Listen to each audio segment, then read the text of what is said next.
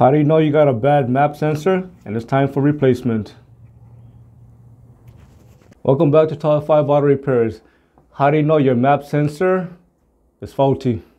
The map sensor is usually located on the intake manifold or on the throttle body or either that is or it's mounted somewhere on a firewall and there's going to be a vacuum hose connected to it going straight to the intake manifold.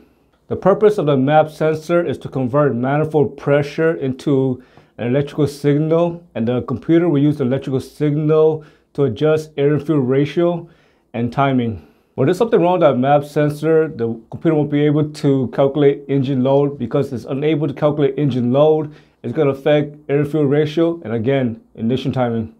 When there's something wrong with that map sensor, driver's going to notice all sorts of symptoms. For example, driver's going to notice poor acceleration, RPM fluctuation, poor gas mileage, the engine may run either rich or lean. You may also notice lack of power. You may notice the engine start to surge. You may notice the vehicle may be triggered to limp mode. You may also notice hard start. You may also notice that engine may not start.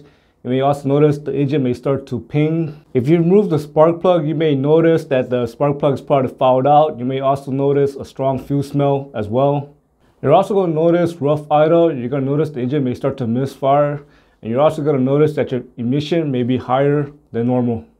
Overall, you're going to notice poor engine performance. For example, let's just say you're trying to go uphill and you're going to notice that the vehicle may struggle to go uphill. There are a lot of reasons why map sensor go bad. For example, the diaphragm inside a map sensor can go bad. There may be a clog somewhere in the uh, vacuum line. Maybe you might have a vacuum leak that could affect the map sensor performance.